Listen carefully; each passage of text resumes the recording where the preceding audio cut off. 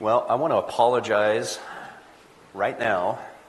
It's late yesterday or er, early yesterday evening, got this chest cold that just and it just settled right in and so hopefully it's I don't get any of you sick, but hopefully too it, as I try and talk that uh, it's not too distracting. So we are in our fourth Sunday of Advent, and as we uh, heard from Dodd's words this morning as they read, this is the fourth Sunday of Advent is the theme of joy, or is the theme of love. Sorry, and and we're all pretty familiar with with this term of love and what it means.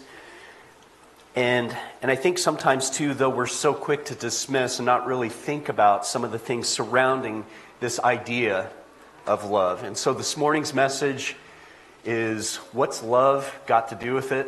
And there may be a few of you that all of a sudden, yeah, a couple of you, that song co- comes to mind, and I will do you a favor and not sing it for you. Come on. New. But what's love got to do with it? And it's, it's this point of this question, the heart of this question, that really needs to drive us back to the heart of who God is. And so we're going to look at a couple of passages of Scripture. We're going to bounce around a little bit as well. I've put slides up, and hopefully that'll help you follow along. But I want to kind of give some context for where we're going to be looking at and what we're looking at. So by the time that Jesus began his ministry, the Jews had accumulated hundreds of laws. By some counts, 613 different laws. And these religious leaders, they tried to distinguish between major and minor laws, and some taught that all laws were equally binding, and that it was dangerous to make any distinctions between minor and major laws.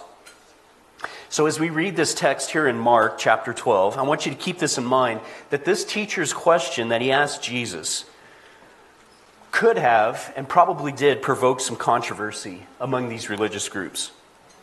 But Jesus' answer is the key to, to all of this fitting together. So, we're going to look at Mark chapter 12, verses 28 through 34. If you have your Bibles, go ahead and turn to it. We'll have it on the screen as well. Mark chapter 12, 28 through 34. One of the teachers of the law came and heard them debating. Noticing that Jesus had given them a good answer, he asked him, Of all the commandments, which is the most important? The most important one, answered Jesus, is this Hear, O Israel, the Lord our God, the Lord is one. Love the Lord your God with all your heart, and with all your soul, and with all your mind and with all your strength.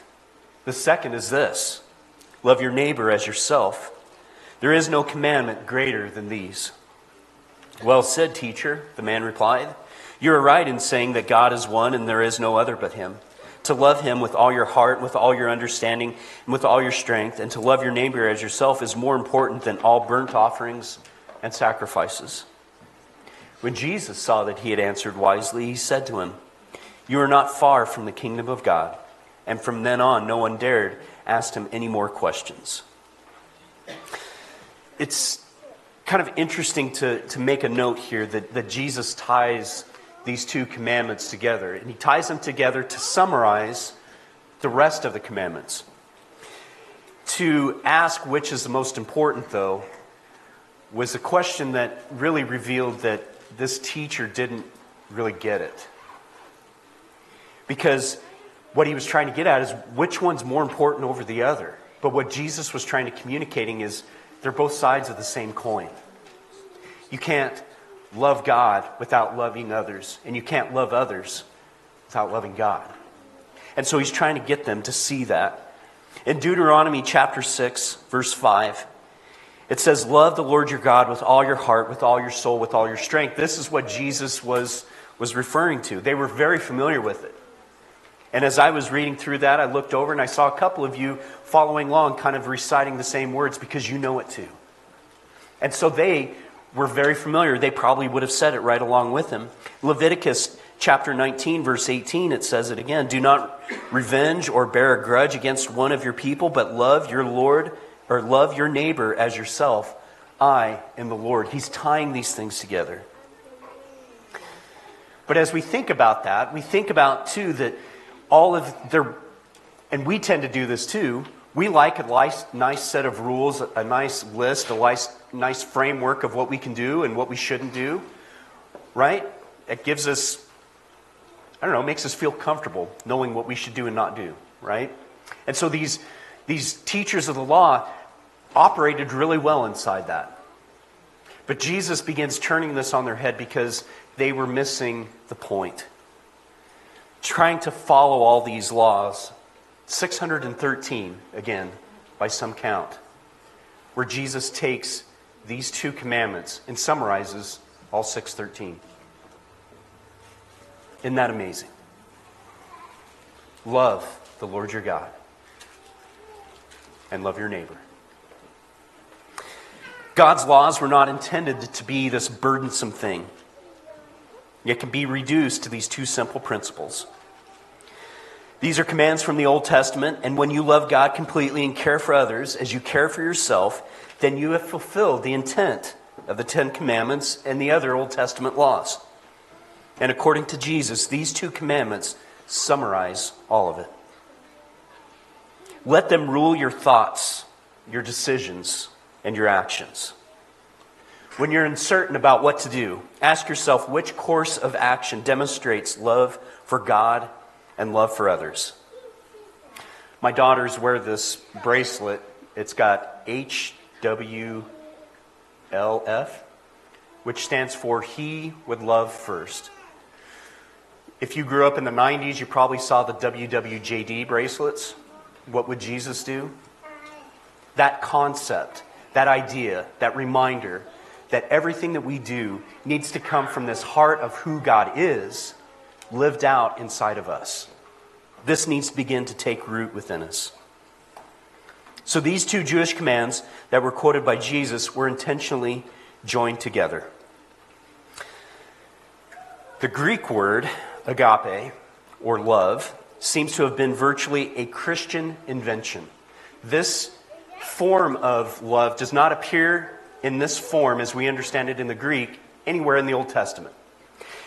It didn't come about until after the Christians, after Jesus' death and resurrection, that they're trying to communicate this love of God. And none of these other definitions really fit. And so agape was what came out of that. It's a new word for a new thing. Agape draws meaning directly from the re- revelation of God in Christ. It is not a form of natural affection, but a supernatural fruit of the Spirit. It's a matter of will rather than feeling. It is a basic element of Christ likeness. This agape, this, this love that's lived out, is unique in this context. Your love for God will be expressed by your love for people, and your love for people will be expressed by your love for God. I've told this story before, but I love it, and I felt like it fit right in. Tony Campolo tells about some homeless teenagers who, um, on these Philadelphia streets, beat to death a Korean honor student. He was doing graduate work in medicine at the University of Pennsylvania. His parents came to the U.S. for the trial, and they sat silently through this murderer's entire trial. At the end, they asked for an opportunity to speak. The guilty verdict came in, and they rose and they knelt before the judge. Before a stunned audience, these parents begged they begged the judge to release their son's murderers to them so that they could give the boys the home and the care that they had never had. They were Christians, and they explained to the judge that they wanted to show something of the grace that they had received from God to those who had done them so much grievous evil. Love is an action that is not focused on feelings because I know in that situation and in those moments, those words of He would love first, what would Jesus do? That would not be at the top of my heart. Any of you from the 90s remember DC Talk? A couple of you? There's a, a song that they put out, Love is a Verb. So if you're not familiar with that, you can Google that later on and, and listen to that. It's super cheesy. But the message behind it this love is an action, this love is lived out. This love first has to take root before it can do any of those things. I love C.S. Lewis. And he has a lot to say about love. In his book, Mere Christianity, C.S. Lewis wrote Do not waste your time bothering whether you love your neighbor. Act as if you did. As soon as we do this, we find one of the great secrets. When you are behaving as if you love someone, you will presently come to love him. If you injure someone you dislike, you will find yourself disliking him more. If you do him a good turn, you will find yourself disliking him less.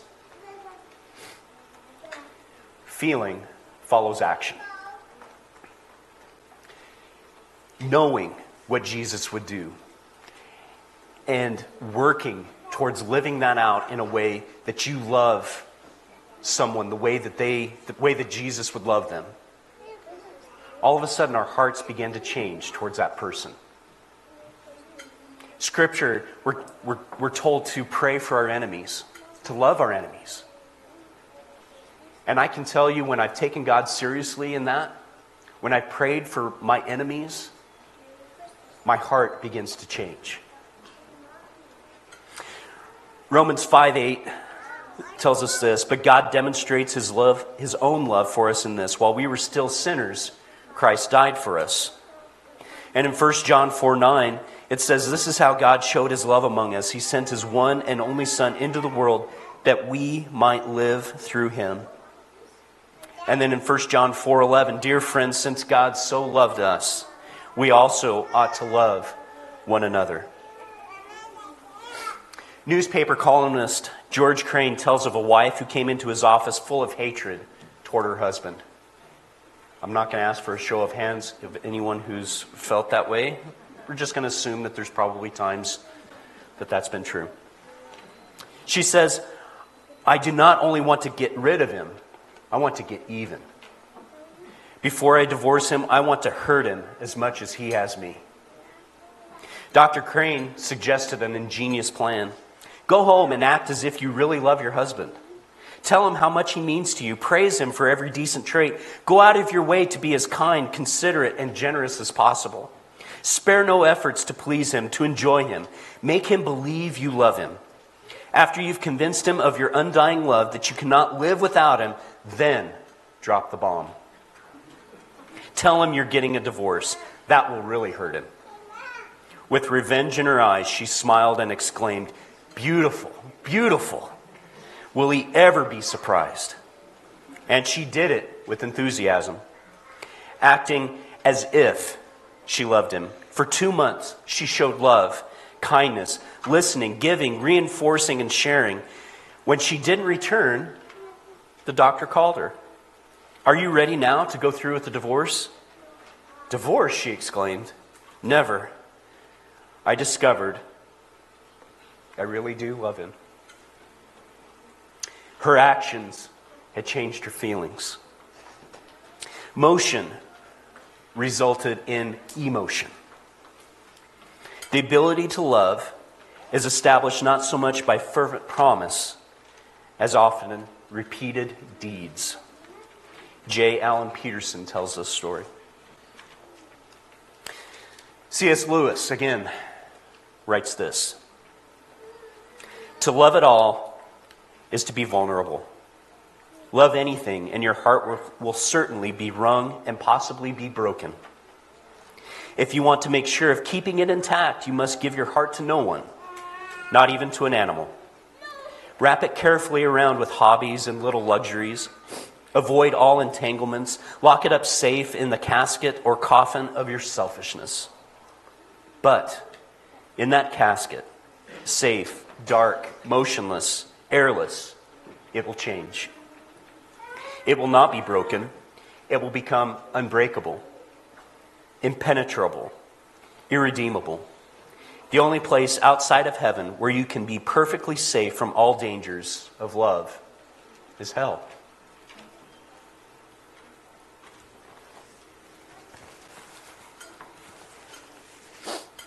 So we've looked at couple of points here. We've begun to understand what God's concept of love is and how Jesus redefined that. We've looked too, now that I've lost my place in my notes, that God expresses his love towards us. We see this begin to unfold in Luke chapter 15 verse 11 through 32, and it's a familiar passage. It's a passage of the prodigal son. Luke chapter 15, verses 11 through 32. Jesus continued There was a man who had two sons. The younger one said to his father, Father, give me my share of the estate. So he divided his property among them. Not long after that, the younger son got together all he had, set off for a distant country, and there squandered his wealth in wild living.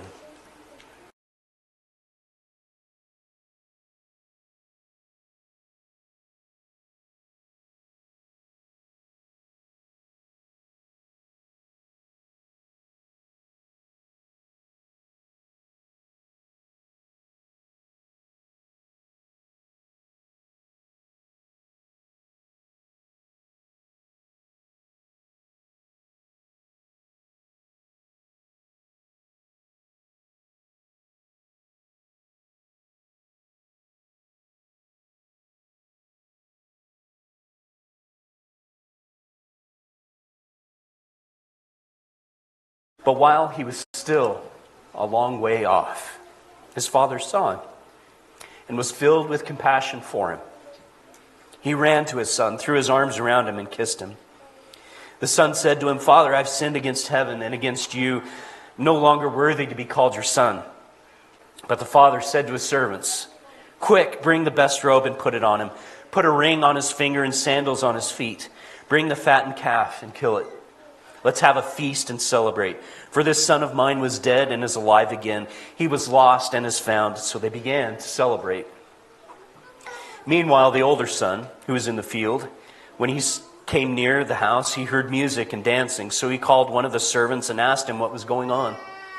Your brother has come, he replied, and your father has killed the fattened calf because he has him back safe and sound. The older brother became angry and refused to go in. So his father went out and pleaded with him, but he answered his father, Look, all these years I've been slaving for you and never disobeyed your orders. Yet you never gave me even a young goat so I could celebrate with my friends. But when this son of yours, who has squandered your property with prostitutes, comes home, you kill the fattened calf for him. My son, the father said, You are always with me, and everything I have is yours. But we had to celebrate and be glad because this brother's of, brother of yours was dead and is alive again. He was lost and he is found. We see the, this great contrast here in this parable that Jesus tells. We see the son who is lost. We see the son who's become bitter. And we have the Father that loves them both. We need to understand how Jesus redefines love. How it's this love that is first lived out and then that takes root, that takes heart in our lives. We have to understand that, that God's love is for us even if we identify as son 1 or son 2.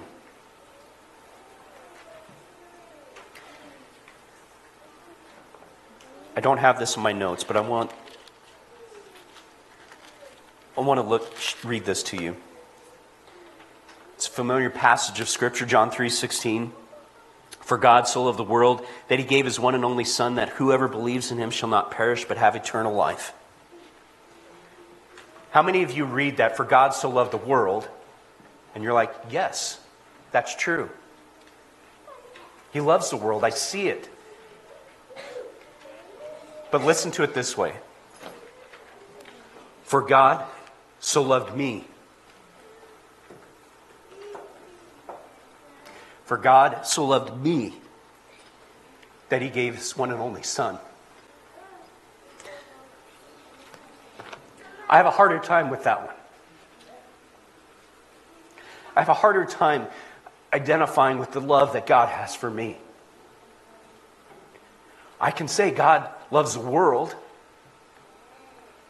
but I have a harder time wrestling with that within me. For God so loved me that he gave his one and only Son for me.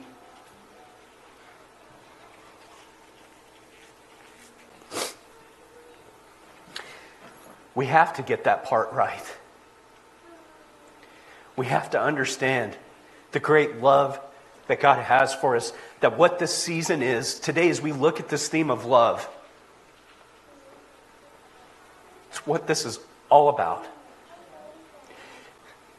God is revealing his character of who he is through his son Jesus. This is who he is.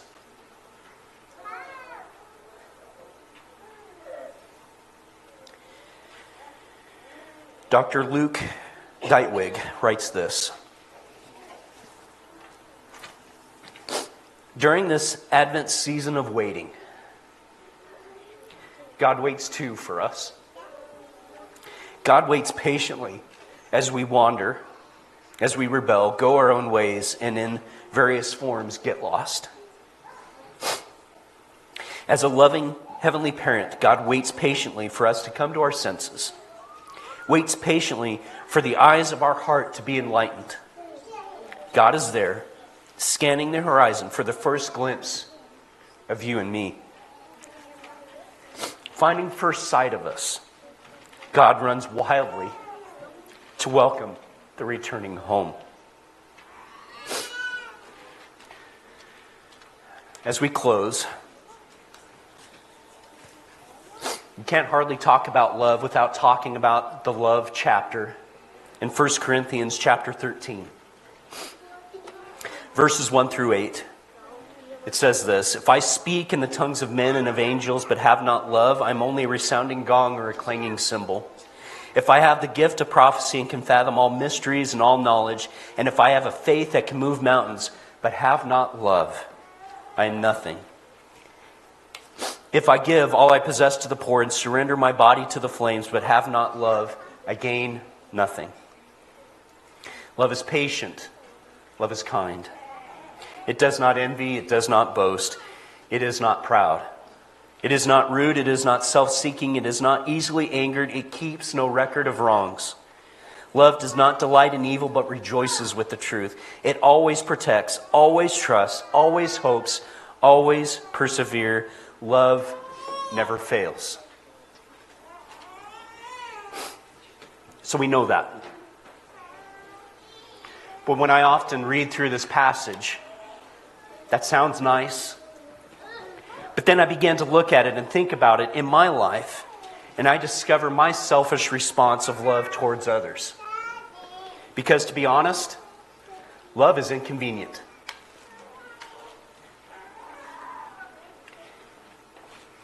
Love has to change me in painful and awkward and uncomfortable ways. Love disrupts my life.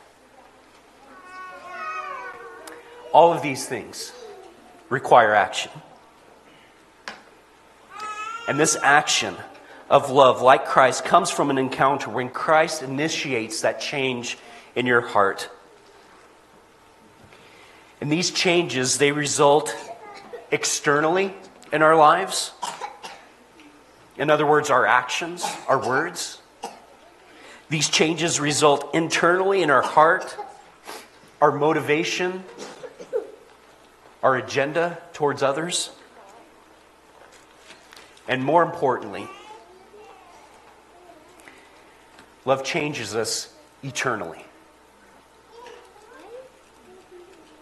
We have to understand God's concept of love to be able to respond to others in love.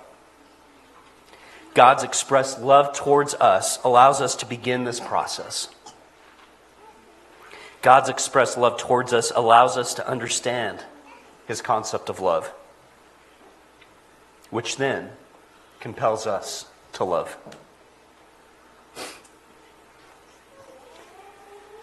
I want to pray for you. As we close, we're going to invite our, our kids back up here in just a second.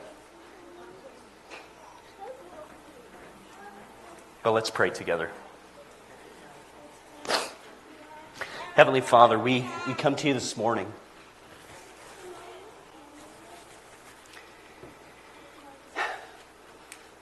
We confess that sometimes we don't get this right. We know that love is inconvenient and it disrupts us. It disrupts our way of life, and it disrupts our own selfish agenda. But Lord, this morning we ask that you would invade our selfishness. Father, you redefined agape, love. That love needs to be lived out, it's action.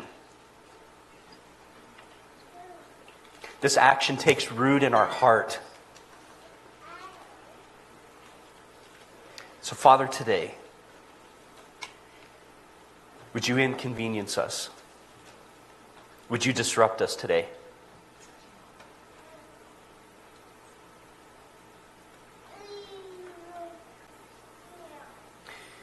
Maybe for some of us, for the very first time,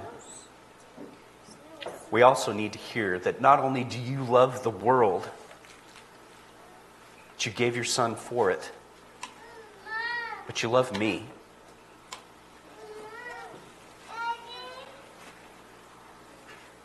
You loved me.